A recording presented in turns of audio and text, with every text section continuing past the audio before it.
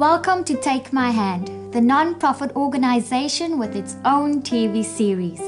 Each week, you can see exactly what we do and decide yourself if you want to get involved or not. Let's see what our friends at Builders Warehouse have been up to. Maria Botha from Ripples for Good has a passion for uplifting communities and renovating schools to better the lives of young learners. She believes that by making a change where she can, she is leaving a legacy that will enrich the lives and inspire them to be able to dream.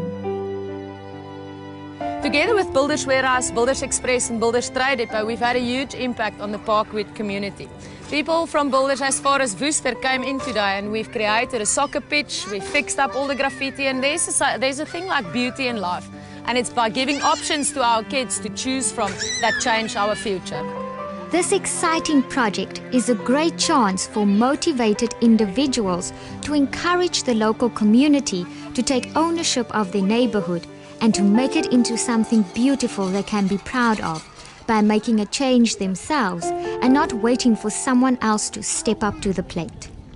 So today they will be painting our track where normal netball or soccer gets played and it will be painted green from old dirty, just blackened out tarmac to a green pitch that will be used for future young people to, to, to benefit from.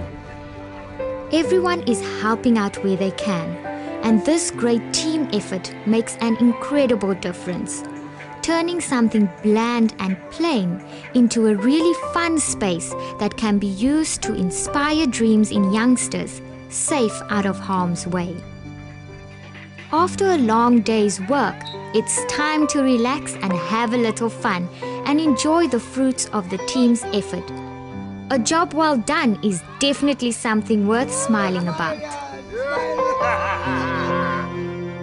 What a difference!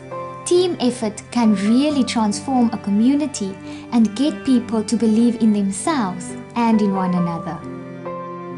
If you would like to help and know of someone in need, please visit our website. See you next week.